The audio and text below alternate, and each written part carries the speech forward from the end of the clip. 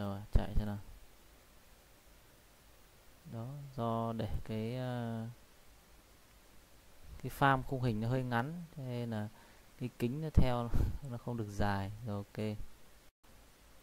Xin chào quý vị và các bạn. Hôm nay mình sẽ giới thiệu đến các bạn cái cách mà người ta có thể thêm một cái đối tượng 3D như cái kính hay là mũ vào khuôn mặt của một người trong video. Thì đây ta sẽ sử dụng cái phần mềm đồ họa là 3D Blender và plugin Rail Tracker. Chúng ta cùng bắt đầu nhá. Kích vào new này. Rồi ta thêm video.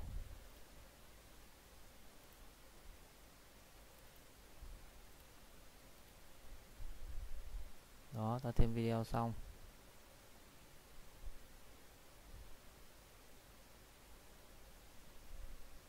Cái phần ờ, uh, gel empty gel empty này thì là là cái đối tượng 3D mà chúng ta cần sẽ cần để để thêm vào.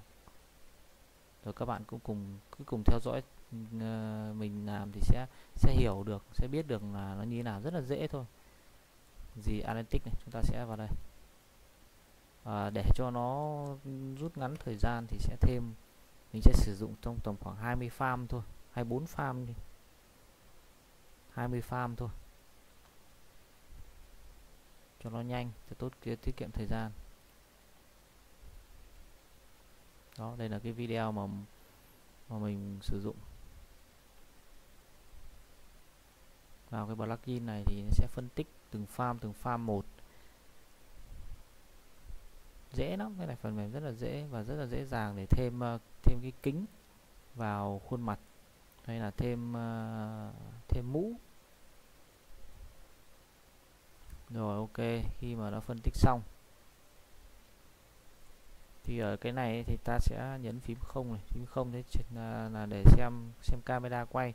Thì à, để dễ dàng mà thêm một cái đối tượng vào khuôn mặt đấy thì ta phải cần gì? Phần cần phải chắc kinh chắc kinh khuôn mặt. Thì ở đây nó có ở đây ở cái uh, gel tracker này nó có một cái rất là hay. Là ta có thể tạo uh, lấy ra những cái bức ảnh chụp những cái bức ảnh này từng theo từng pha một để dễ dàng tạo cái ờ, cái cái cái khuôn mặt 3D dễ dàng hơn. Ở đây ví dụ ta sử dụng cái farm thứ nhất thì ta sẽ kích vào đây. Đó xong người ta lưu lại. Đây lưu vào đây. Đây những cái video à những cái cái cái hình ảnh mà mà mà mình đã đã chụp rồi. Đó để lấy từng pha một.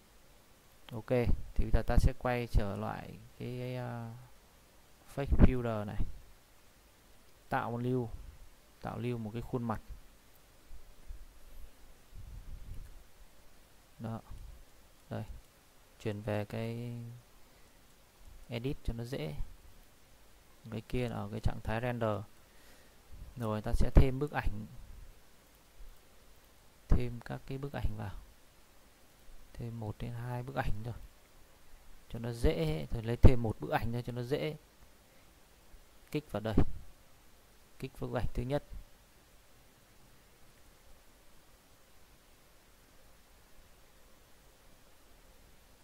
Đó nhận dạng luôn này. Cái này được cái hay cái là có một bức ảnh thì đã nhận dạng luôn rồi. Đây các cái điểm này các cái điểm mà uh, nhận dạng thì ta sẽ có thể chỉnh sửa chỉnh kéo này kéo thả kéo thả để làm sao cho cái, uh,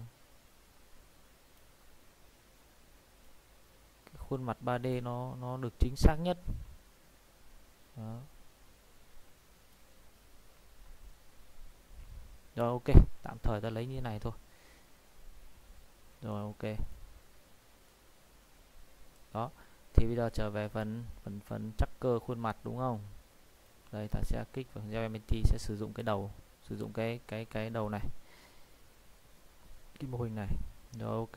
Bây giờ sẽ vào phần start ghim bắt đầu ghim bắt đầu ghim thì ta ghim cái này vào vào trong các cái cái video thôi. Đó vào đây. Mắt mắt ta cho vào mắt. À, kích chuột trái nhé cái này sử dụng kích chuột trái. Mũi này.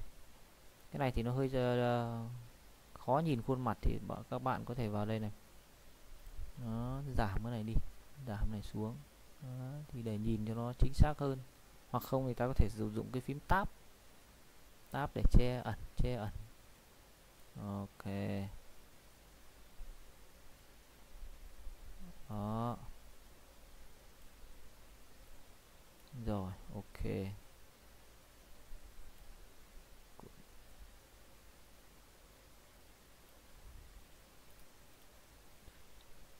Kéo cho nó sát vào đây đó.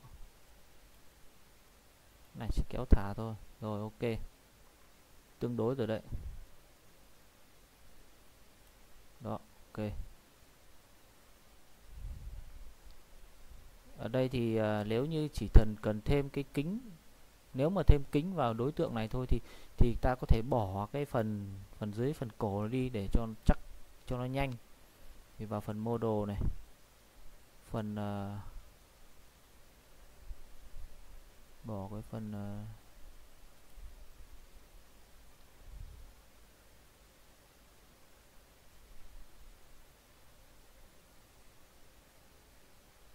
upper fake này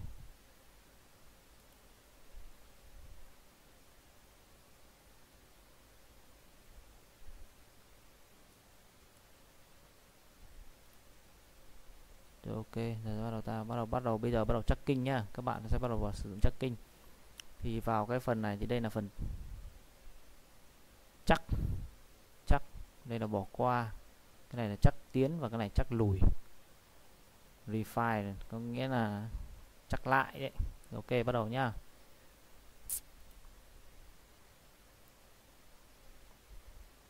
Đó từng farm từng farm một. Ok tại vì đây là do là mình sử dụng 20 farm thôi thì nó nên nó khá là nhanh. Và cái video nó chuyển động chưa, chưa đầy một giây cho nó nhanh thôi. Để cho các bạn dễ hình dung ở đây ta sẽ cho vào khoảng 20 ok.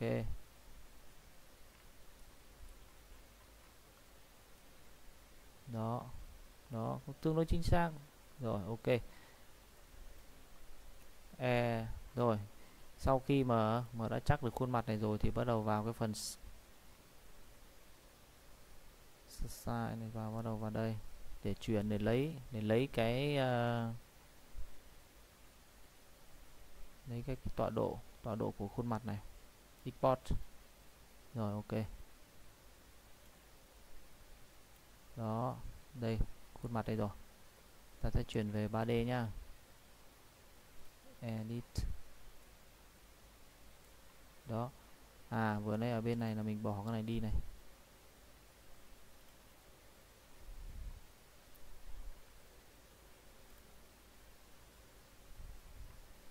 Rồi ok. Bỏ đấy đi thì chắc nó sẽ nhanh hơn. Đó thì khuôn mặt nó sẽ là như thế này. Đấy các bạn thấy nó có chuyển động. Đấy, khuôn mặt chuyển động. Ok thế bây giờ bây giờ sẽ thêm sẽ thêm một một đối tượng là kính nhá ta sẽ thêm kính. Thêm kính vào cái cái cái khuôn mặt này. Đây cái kính đây mình đã chuẩn bị sẵn đây rồi.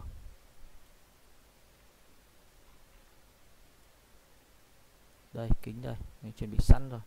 Thì cái này rất là đơn giản thôi. Thì để để cho kính vào cho kính vào cái, cái, cái khuôn mặt này mà nó chuyển động cùng với khuôn mặt thì ta sẽ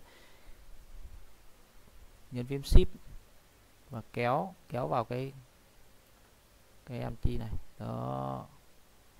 Đấy. Rồi bây giờ ta sẽ đưa cái kính này sát lại sát lại với với với với khuôn mặt.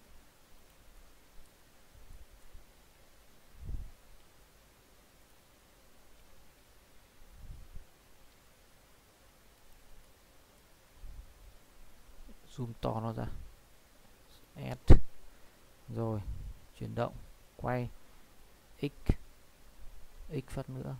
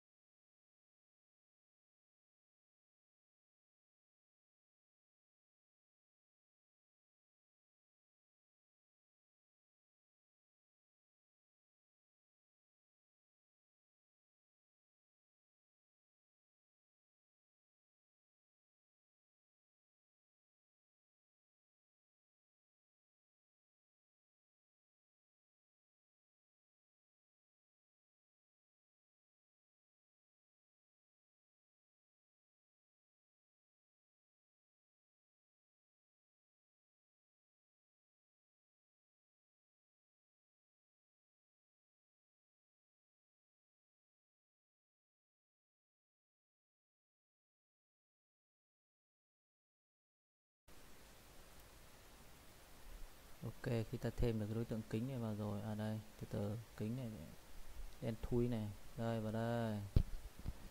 Ta sẽ vào đây nhá.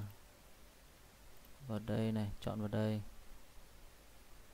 Rồi, vào cái phần, chọn vào này, kích vào đây.